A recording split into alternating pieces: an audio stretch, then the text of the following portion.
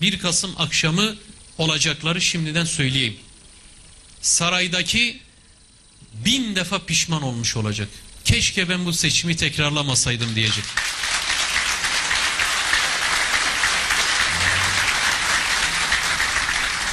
Keşke 7 Haziran'ı kabul etseydim diyecek.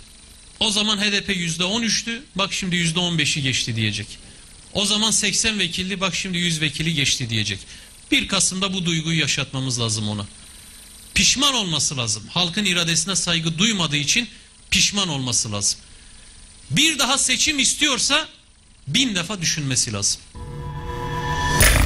ensonhaber.com Tıklayın haberiniz olsun.